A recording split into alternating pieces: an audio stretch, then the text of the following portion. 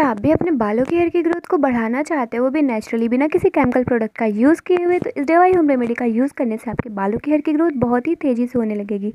साथ ही साथ आपके बाल सिल्की स्मूथ शाइनी और ग्लॉसी भी हो जाएँगे और आपके स्कैल्प से डैंड्रफ की प्रॉब्लम कम्प्लीटली सॉल्व हो जाएगी।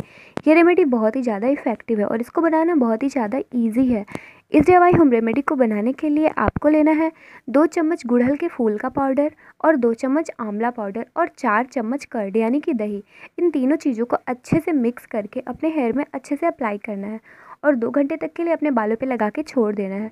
दो घंटे बाद जब बाल सूखने लगे तो इसको ठंडे पानी से अपने बालों से निकाल लेना है, यानी कि अपने बालों को ठंडे पानी से वॉश कर लेना है। ये रेमेडी बहुत ही ज़्यादा इफ़ेक्टिव है। गुड़हल का फूल आपके बालों की हेयर की ग्रोथ को बहुत ही तेज़ी से बढ़ाता है और आपके बालों को सिल्की करता है। और आंवला पाउडर आपके बालों के लिए तो जादू की तरह वर्क करता है, जो आपके बालों में नई जड़ें भी उगाता है और आपकी हेयर की ग्रोथ को बहुत ही तेज़ी से प्रमोट करता है। और कर्ड आपके बालों को डैंडर से दूर रखता है और आपके बालों की हेयर की ग्रोथ में हेल्प करता है। ये रेमेडी बहुत ही ज़्यादा इफ़ेक्टिव है। अच्छे रिज़ल्ट के लिए आप इस रेमेडी का वीक में एक बार ज़रूर यूज़ करें। अगर आपने एक महीने तक इस रेमेडी को कंटिन्यू कर लिया तो आपके बालों की हेयर की ग्रोथ आठ से दस इंच तक होने लगेगी। ऐसे ही क्विक और इफ़ेक्टिव वीडियो के लिए प्लीज़ चैनल को सब्सक्राइब करें और हाँ वीडियो को लाइक करना मत भूलिएगा। Thanks for watching